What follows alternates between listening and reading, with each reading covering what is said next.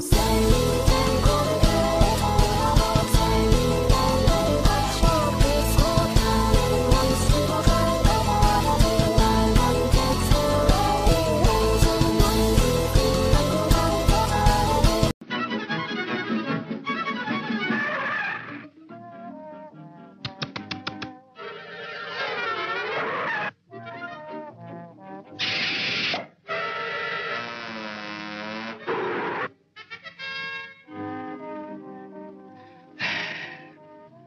I love you.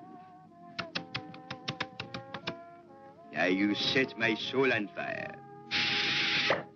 It is not just a little spark. It is a flame. A big, roaring flame. I can feel it now.